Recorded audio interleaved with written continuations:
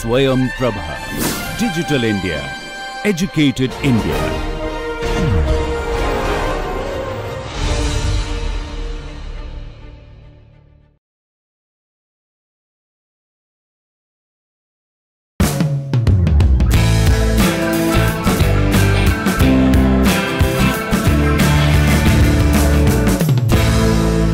This summarizes what we have done so far on the well stirred reactor where, where, basically we have considered a global mass balance um, over a control volume and a global energy balance. So effectively you now get uh, a, a, set of n equations which you can now say okay one equation is a sample for the ith species there uh, which contains your yi out which could now be just simply called as yi as, as, as uh, the n variables okay or the one sample variable for this equation uh, but then uh, we also understand that omega i is going to be a function of temperature. Therefore we need another equation to uh, close this which is now the global energy balance. And the global energy balance again involves um, um, the yi's okay so it, it is it is now coupled with the, with this one. So unless you solve this we can't solve this. Unless we, we solve this we can't solve that. And uh, uh, then we, we now see that the HIs are the ones that are con containing the temperature sitting on top here. Okay.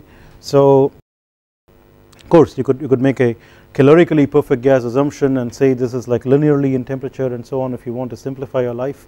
But uh, if you want to do the hardest work then you keep the integral do polynomial fifth, fifth degree sixth degree polynomials for CP and uh, go on integrate and all those things and so on. Okay.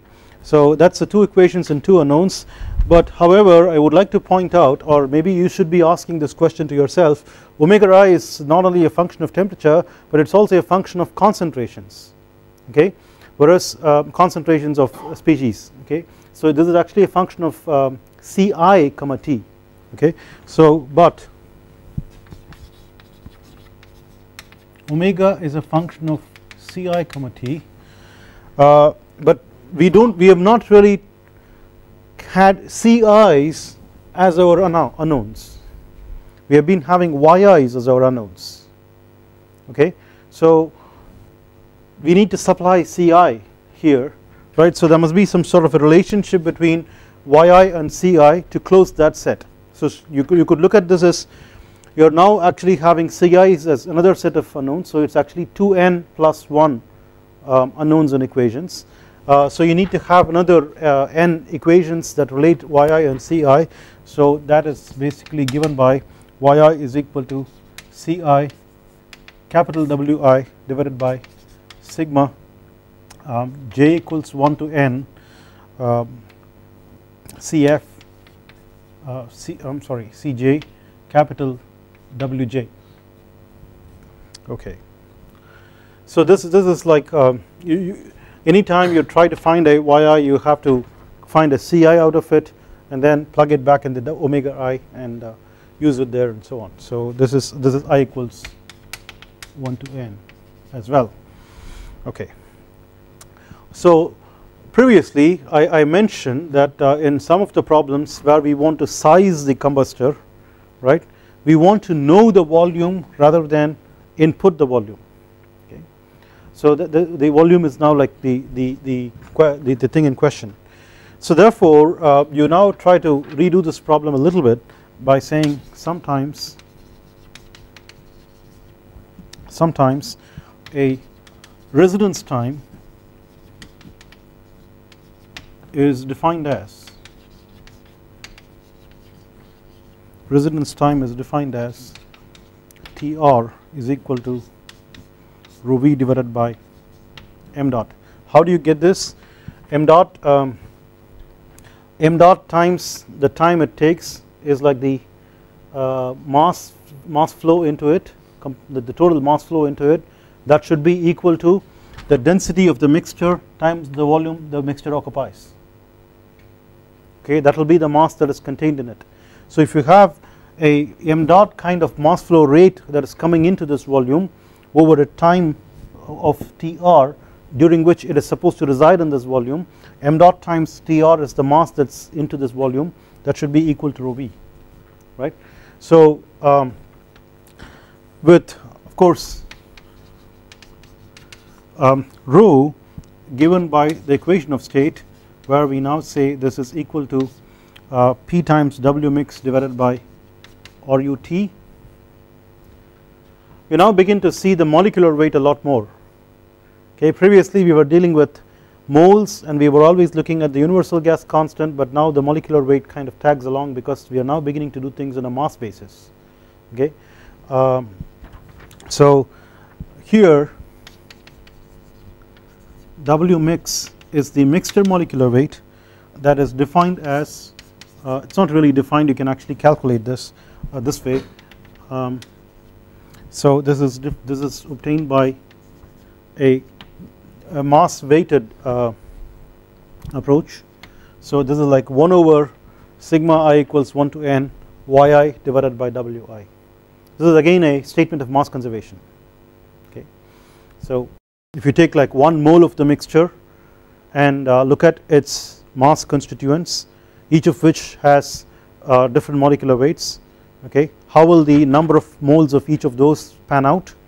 And uh, then you now add the number of moles and so on okay? So that is how we are uh, trying to do this. this this can be derived but I am not going to derive this for you. Just, just stated it. So if you if you do all these things then here uh, in this problem in this problem we are given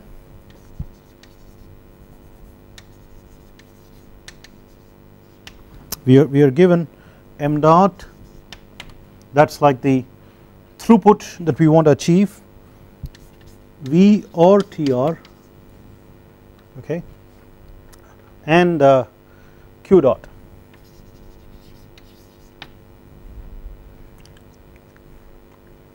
Okay. So if you now have uh, TR we can try to find out V and so on of course I guess we also are given P so in NP. So the pressure at which you want to do the work uh, to do this do this problem and uh, then you can actually have a relationship between um, so T is a variable okay to, to be evaluated and um, so you can actually have a relationship between TR and V okay and um, what else that is about it. Okay so, so you get uh, uh, m dot is given this is given this, so you just have to go ahead and solve this. Okay so we we have uh, so if you want to now count one um, let's say two and three okay uh, one 2 and 3 actually gives you 2n plus 1 equations. We are interested in uh,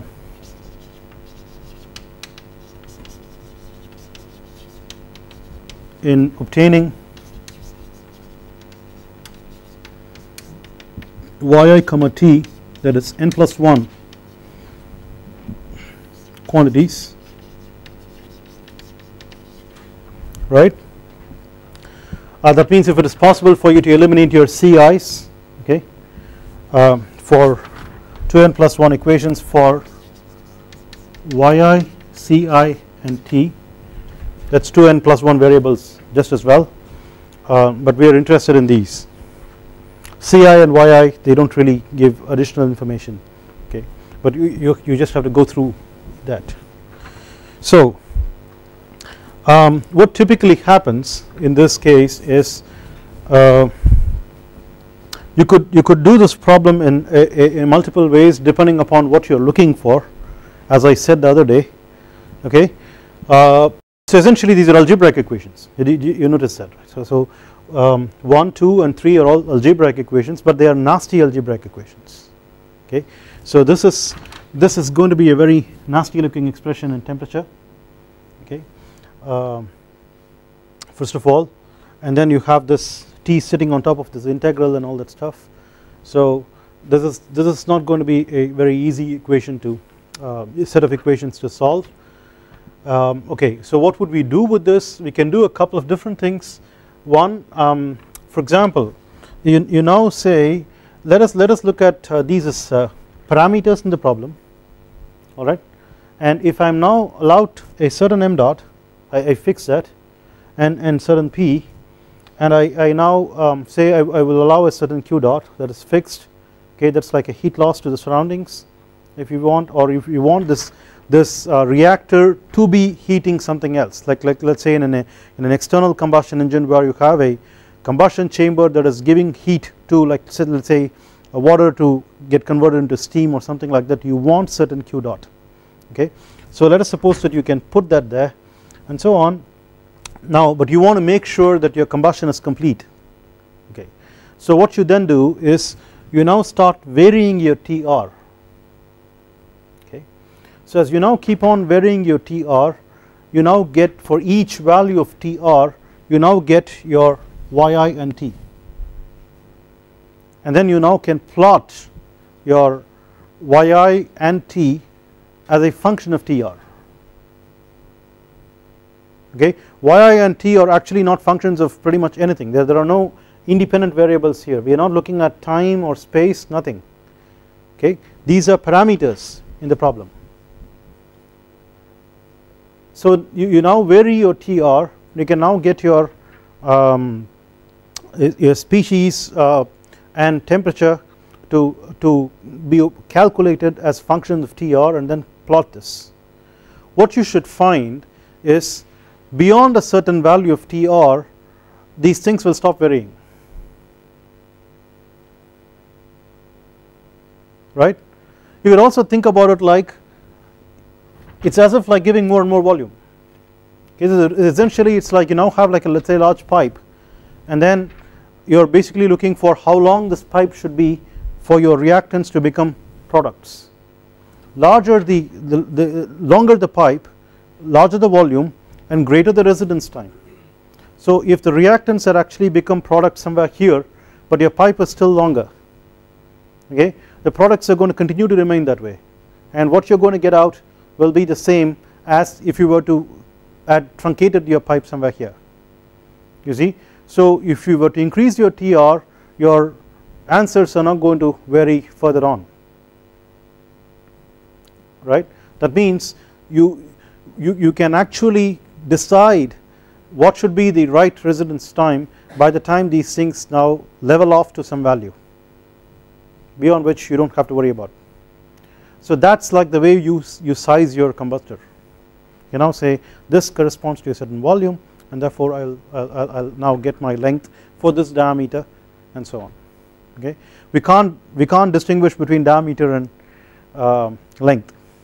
That's that that's that's a no no because we don't know how what's happening inside.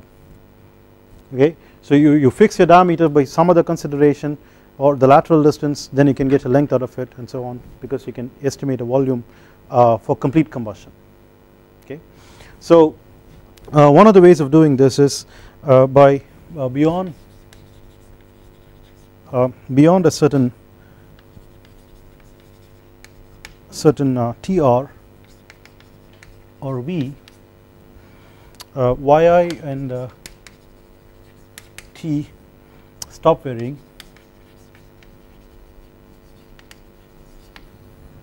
This means no further change.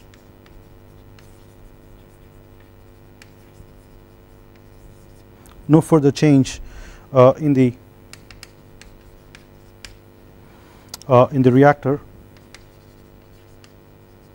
for uh, the extra volume.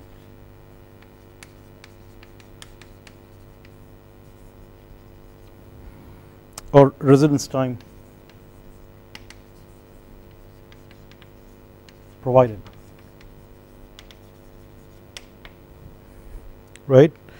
So this is used uh, to size the combustor or okay we will just stick to the word reactor as if we are chemical engineers. Okay uh, that is fine. Another thing that you could do is let us suppose that I had a reactor. Alright let us suppose that I had a reactor. And my question is how much m dot can I can this reactor handle? Can I dump more and more reactants at it. Alright so that is another way of looking at it. So essentially the point basically is these are parameters. You could vary them. And you, can now fix a few things. You can vary one of them to see what is the effect of it. So another uh, meaningful uh, variation is to actually keep varying your m dot given other things. Okay? So beyond a certain m dot I, I mentioned this earlier beyond a certain m dot uh, the equations do not converge to a solution.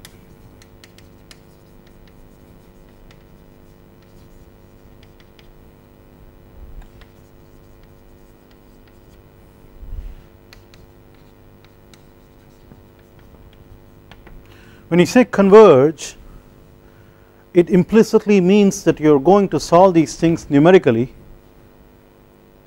okay with an iterative approach. It is like um, this is like chicken and egg problem. I do not know uh, omega i. I can't get my yi so I do not know my yi so I can't get my t and so on right? And do not even think about solving this simultaneously like you used to do in your uh, middle school um, simultaneous simple algebraic equations 2 equation 2 unknown system right.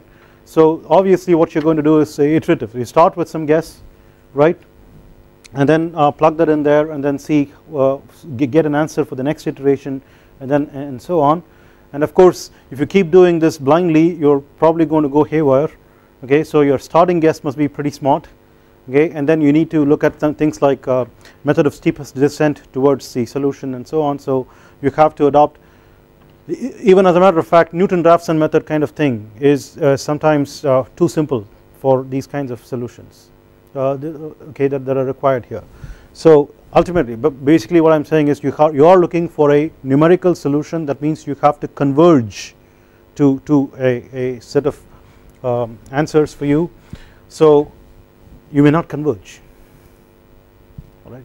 So that, that simply means um, as far as this model is concerned is a, a blowout. That means these equations just simply can't be satisfied for um, the set of parameters that we are looking at alright. The typically the way you do this is you, you start with some m dot and then keep varying okay until you hit a point where you can't get a solution.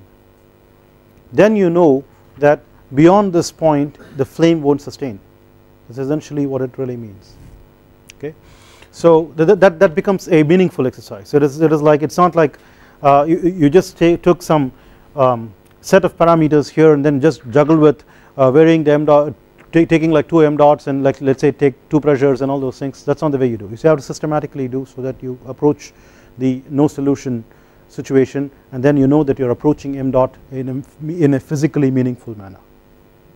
Right. Okay, um, I, would like to point out a couple of things uh, in what we have done here which are uh, uh, which are somewhat unique or interesting. One the notion of residence time is a, is a very powerful idea okay regardless of how complicated an analysis that you want to do or not uh, this gives you uh, this, this, gives you a, a, a first cut idea. So for example one of the problems with uh, scramjet combustors like um, supersonic combustion okay is lack of residence time okay or, or inadequate residence time. So because you are looking at a very fast flow that is coming in uh, which is uh, decelerated to uh, let us say Mach 1.62 something like that 1.622 some, something of that sort. Um, and still you are looking at supersonic flow and um, then you, you now have to inject sometimes um, if you are unlucky you have to inject liquid fuel and then that has to actually get atomized and then uh, get into droplets and then vaporize and then mix uh, and, and then burn. Okay so keep doing all these things you are out of the combustor. Because the flow just does not want to stop. Alright or if you really stop the flow for all these things you are not going to fly. Okay? So the, the, the residence time is one of the key ideas in, uh, in uh, most of the combustor designs that you want to think about okay. So this is a powerful idea that comes out of uh, this, this analysis. The second thing that I would like to point out before we get to the next thing which is the plug flow reactor is in whatever we have done so far in combining the thermal and uh, chemical processes uh, so far which is fixed mass reactors both constant pressure and constant uh, volume and uh, the well stirred reactor on an open flow system is we have primarily considered only two conservation laws. One is energy conservation the second one is species mass conservation. Okay in some sense you will find this approach recurring as a recurring theme in most combustion problem approaches. Or in other words you always think about doing the combustion part. What is special about combustion in addition to just a flow situation is primarily two things. One first of all you have to deal with multiple species and therefore you have to conserve the mass of each of those species. So you now are having to deal with a species set of species conservation equations. In addition to that you, it is directly coupled to the energy balance because the reaction rates depend on temperature and you need to know what the temperature is through the energy balance which in turn will depend on the species for the heat release. So they get coupled. Okay? Many times you will find that it is possible to decouple this set of equations from the flow set of equations. Therefore then you will now be able to identify that the flow equations are like a standalone and the combustion equations can be solved after you have solved the flow equation and plugged in the velocities here for the convective effect of the species and the temperature and the enthalpy. Okay? So in some sense the, the, the, you can now say that's a flow problem and this is the combustion problem. Right. so if you were to basically look at something like convective heat transfer of incompressible flows you will understand that this kind of thing happens there. And there what you would say is you can solve for the flow which is decoupled from the energy balance and you can now plug the flow field that has been solved from the flow into the energy equation to get the temperature field and from there you can get the heat transfer. That is heat transfer kind of approach. This is similar here except that in addition to the energy equation which is going to be complicated by the presence of multiple species and reactions and so on we also have to take into account the species mass conservation equation set and this constitutes the combustion problem mostly. So most of the time we will always be worrying about two things species mass conservation equations and energy equation. This is like pretty much the combustion problem. There are some occasions where this will get tightly coupled with the flow problem. There are lots of other occasions which we will be looking forward to where it gets decoupled. Therefore we do not worry about the flow, flow problem we outsource that to a fluid mechanics person okay so to speak. You get the flow field and then you can solve the combustion problem. So what we have been doing is the combustion problem. The reason why um, I am stating that now is the, the, the moment you actually step into the plug flow reactor we are now going to actually keep it keep track of what is happening in space.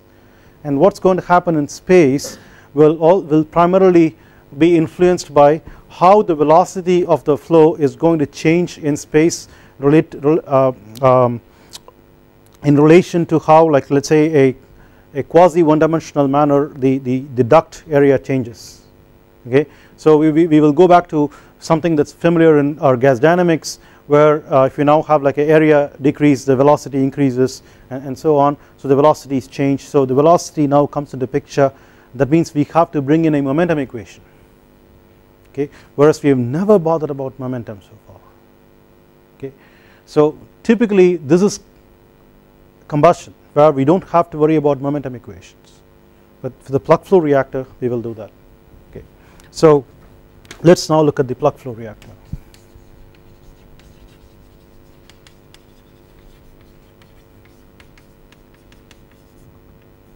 PFR. So as I said if you wanted to have a PFR rhyme with the well stirred reactor you would want to call it perfectly stirred reactor and call it PSR okay? Uh, but this is PFR no no no changes in uh, how we want to do this.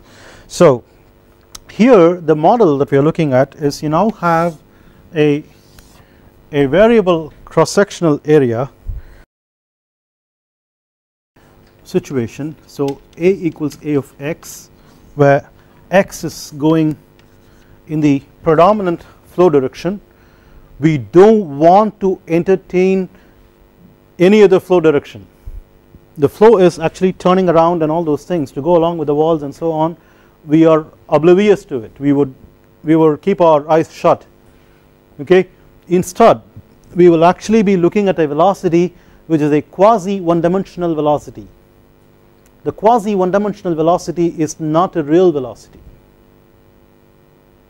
Okay? It's not directly it's not the same as the axial component of the actual velocity. Because in reality when the flow turns there is a certain mass that is associated with going that way okay? But we will conserve mass as if things are all going only this way. Okay? So our quasi one dimensional velocity will have to conserve mass only in one direction. So that velocity is not the same as the axial component of the actual velocity. Okay? So this is the way we will do this. And of course many times I find that gas dynamics teachers who actually deal with this don't emphasize this particular point. And then we always get confused when we want to get back to our reality comparing experiments and so on. Okay? We will get discrepancies the, the reason is uh, we will have to keep this in mind. Okay? So um, what we will do is again look at like a a local control volume. And uh, look at something like a q dot double prime. Notice the double prime that is coming up. We never had a double prime so far. Okay? So what this really means is this is the heat flux. So far what we have had is oh,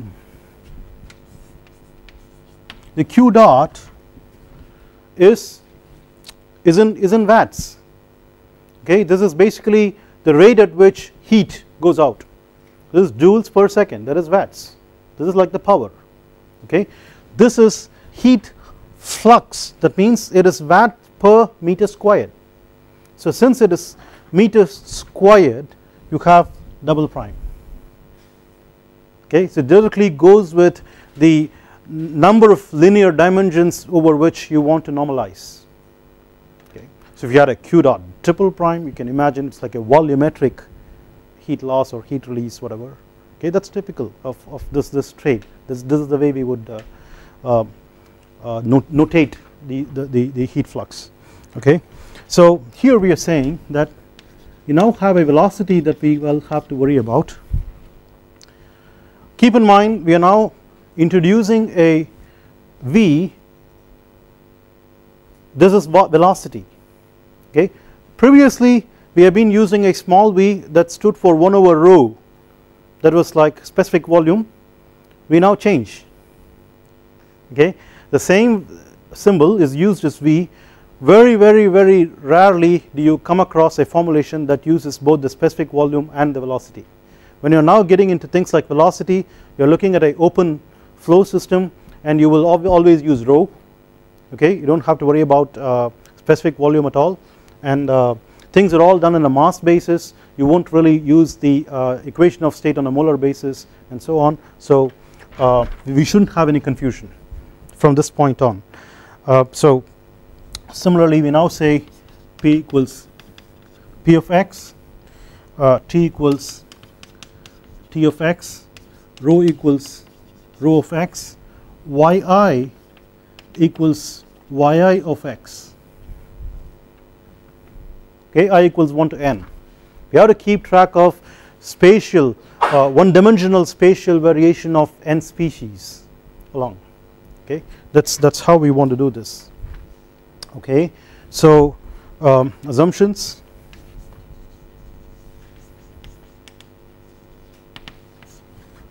First is steady flow. What goes in should come out right away. Um, right away is the key point. That means there is no accumulation or depletion. Okay? Um, quasi 1D flow um, that means the v velocity is equal to uh, v of x i vector. So this v of x that we are talking about is a quasi one dimensional velocity. It is not the axial component of velocity in the real flow. Um, we now assume um, no mixing in the axial direction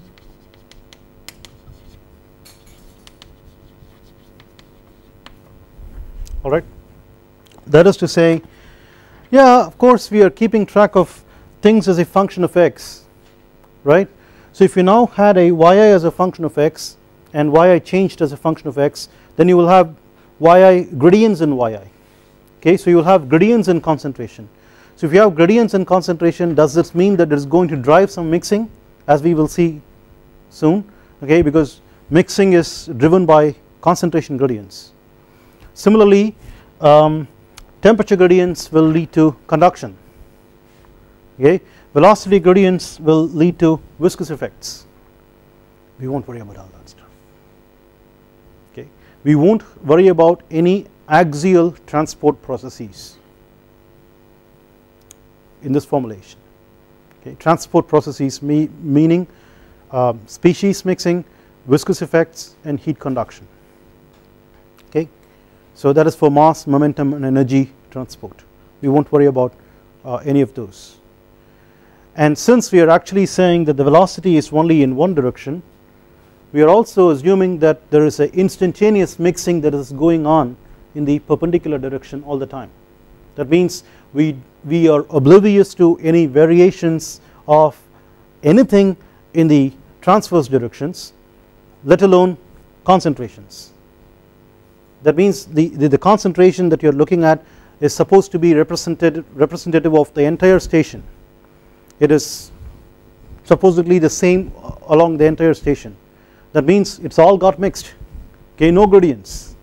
Okay? So that means this this actually assumes instantaneous mixing in the transverse direction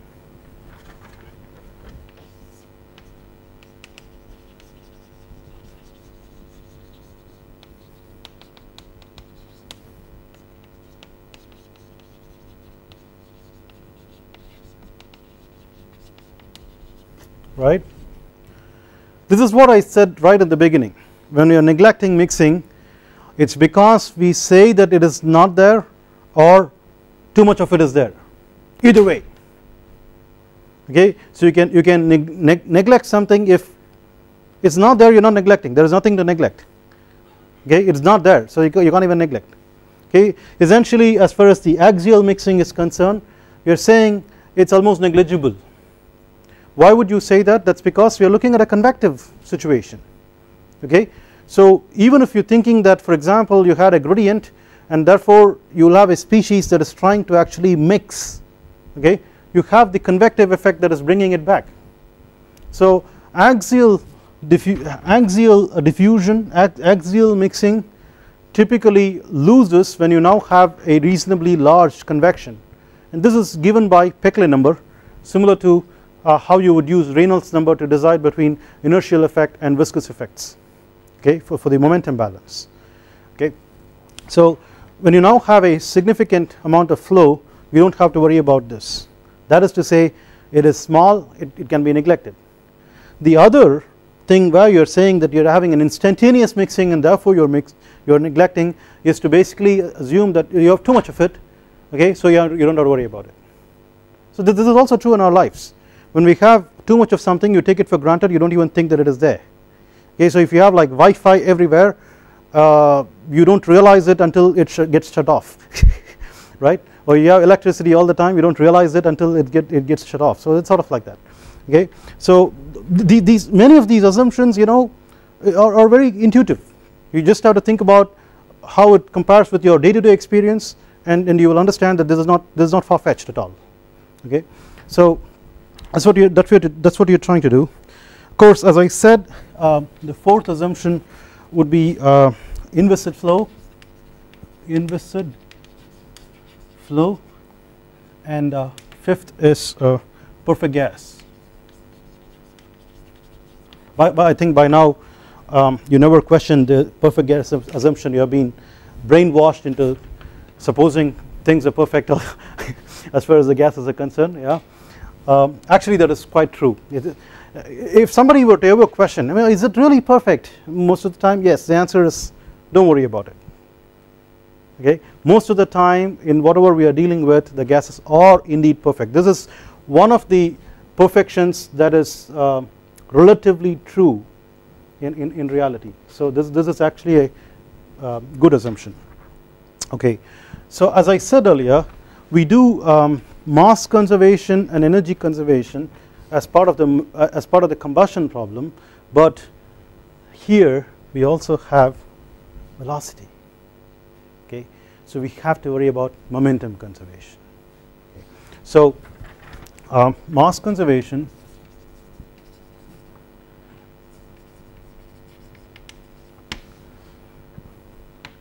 we simply have to say d over dx of rho u a equal to 0 quite familiar to most of us okay? Um, from, from things like uh, gas dynamics okay? Um, and, and, notice that we are using ordinary deriv derivatives okay? It is as if like we do not even know how to write a partial derivative at this stage. Okay so we, we go step by step. We are like uh, uh, with regard to learning combustion we are babies so we take baby steps towards partial derivatives. Just wait for a few more classes uh, then you will find too many partial derivatives for you to stomach. Okay? So uh, let us be happy with the ordinary derivatives at the moment. So x momentum conservation uh, okay? This is simply boiling down to your uh, one dimensional Euler um, rho u I should say um,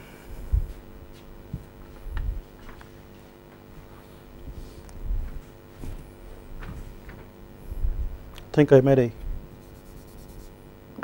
we will just say uh, okay this is fine. This is fine.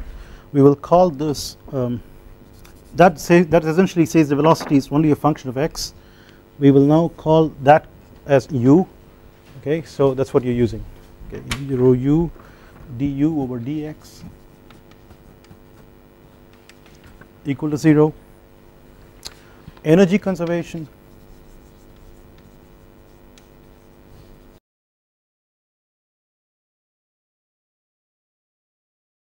Rho u a h plus u squared over 2 plus q q dot double prime times P. This is capital P not the small p which is pressure. So this is equal to 0 where capital P is the local perimeter. Okay that is P equals P of x. Okay the perimeter here um, refers to whatever happens here. We are only keeping track of one dimension. It could be like a box could be like a tube circular tube whatever it is. So you have a perimeter there that goes with it.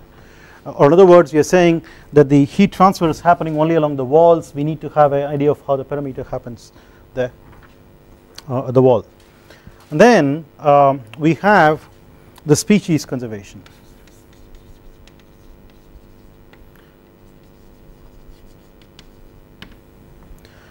That is um, rho u so let's let's just uh, fix this up like this. Rho u do yi divided by sorry d, dyi divided by dx plus omega i wi equal to 0 this should have been like this together should have been small wi that is for the source okay?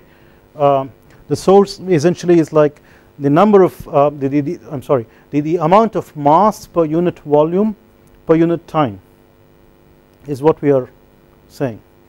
So this is mass flux times a uh, mass fraction derivative alright. So the, the, mass flux times a mass fraction derivative will give you a volumetric um, rate of uh, flow. So this is essentially volumetric rate of flow. Omega i is the number of moles per unit time time per unit volume times its molecular weight will give you the mass uh, per unit time per unit volume. Okay. Um, notice something here. We are not uh, okay I, I haven't derived this for you. Okay I am just writing this out and uh, I am not going to worry about how to derive this. Okay we will derive a uh, the, the general species conservation equation in 3D pretty soon okay? Taking into account diffusion and all those things. But at the moment I, I just assume that you can figure out how to derive this. Let us not worry about it. What I told you was while we were here I said typically we worry only about these two the energy and species okay and then I said because we are interested in the flow we have to worry about the momentum. What is this? And how is it different from this? Right? This is mass conservation for an individual species. So this is actually going as i equals 1 to n. This is n equations. Anytime you look at a species conservation equation keep in mind it's actually n equations. Okay? This is one equation for the mixture alright and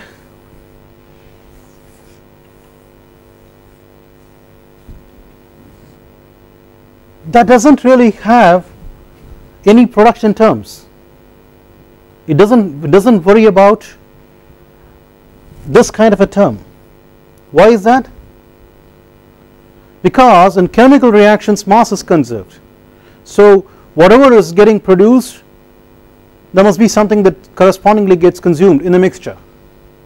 Alright therefore we shouldn't have to worry about it. We will, we will, we will come back to this uh, much more specifically when we do the uh, detailed three dimensional species conservation and derive the um, mixture mass conservation from there. Okay? Uh, but ultimately what what what what would what would it mean is the mixture doesn't even know that reactions are happening inside okay? It's as if like for example when you were doing when we were uh, doing aerodynamics let us say. Okay let us say you go to an aerodynamics class and then the aerodynamics professor is talking about flow past and airfoil and all that stuff and then he writes equations for mass conservation continuity equation and so on. You can't say stop. You are doing aerodynamics. That means this is air airflow past an airfoil air contains oxygen nitrogen uh, all these things uh, these are all individual species. Where is the individual species conservation equations should really do that won't you? You won't have to. The mixture doesn't know that it has it's actually a mixture. Even if nitrogen and oxygen were to react that's that's a point okay? so so it's very interesting there. Uh, this is like a this, this, this, this actually says something like a collective behavior okay as if the mixture didn't exist. This is collective behavior with the mixed with, with taking cognizance of the mixture. So it becomes it's part of the combustion problem okay. So that there's a difference between taking cognizance of the mixture and not taking cognizance of the mixture. So well so how, how can we do this? Uh, how, how, can we now deal with this? So we can we can write um, we, we now have to actually do some more jugglery and I hope we can do this now pretty soon. We could write some of these equations. As let us say you want to pick the first one. You open up these brackets there and so you write this as 1 over rho d rho over dx plus 1 over u du over dx plus 1 over a dA over dx. Um, let me go a little further out and that write equal to 0 you now begin to get the drift of why I am having that 0 right at the, at the far end. Um, I want to point out that rho and u are unknowns here but a is not an unknown it is given. So 1 over a dA over dx is like a source term okay? It is it is known to you it is not an unknown okay? Then the next equation you can now write this as rho u du over dx plus okay? I am just going to write dp over dx equal to 0 why am I spacing things out I am beginning to see if I can write all the like derivatives one below the other. And I am going to now form a matrix okay? So um, the next equation uh, you could write this as udu over dx plus dh over dx equal to 0 right? But for the other ones you have to do some jugglery. So let us try to do that quickly. This is a lot of algebra so not much point in spending time. So we notice that h is equal to uh, sigma yi hi when you're using small h use yi. When you're using capital H you have to use ni ci on a, on a molar basis. So dh over dx equal to um, sigma dy i over dx times hi plus sigma yi dhi over dx. Um, this is equal to sigma uh, d dy over dx times hi plus sigma yi partial do hi divided by partial t at constant p times dt over dx. We want to bring in temperature okay? Um, so not, not contented with just enthalpy. Therefore we can write this as uh, sigma dyi over dx hi plus sigma yi small cpi dt over dx. The dt over dx can be pulled out of the summation and then you have a summation yi cpi so this together um, is basically cp for the mixture. Okay? So this is equal to sigma hi dyi over dx plus cp dt over dx keep this then you have another problem P equals rho RU T divided by W mix. So this means that 1 over P dP over dx equal to 1 over rho d rho over dx plus 1 over T dt over dx minus 1 over W mix d w mixed over dx oh my god. Okay we now have to worry about how the molecular weight of the mixture changes with space. Okay terrible. Well of course we know how it changes. It's supposed to change with the the composition. And uh, the composition is given by yi's so we should simply be able to write the variation in the molecular mixture molecular weight in terms of variation in the composition. Therefore uh, but W mix is equal to sigma yi divided by Wi whole to the minus 1 um, so dW mix over dx can be written as minus W mix squared sigma um, 1 over Wi uh, dyi over dx uh, so therefore dp over dx is 1 over rho d rho over dx plus 1 over t dt over dx plus the negative signs um, get together. So you get a plus uh, w mix sigma 1 over wi dyi over dx alright. Therefore what happens is you can plug this dp over dx over here okay dp over dx but it is going to now contain d rho over dx dt over dx and dyi over dx right. So uh, and uh, of course the species equation for you um, already had a dyi over dx and this acts as a source term okay involving yi's and t of course. Therefore uh, it is coupled and um, we can write so we obtain uh, equations in terms of uh, in terms of well simply say rho u t and yi uh, so these are like four unknowns but keep in mind yi is actually a set of n unknowns. And so you need to have a four set four equations with the last one being a set of equations. That is exactly what we have. Okay.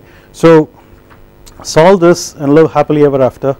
I will see you Monday.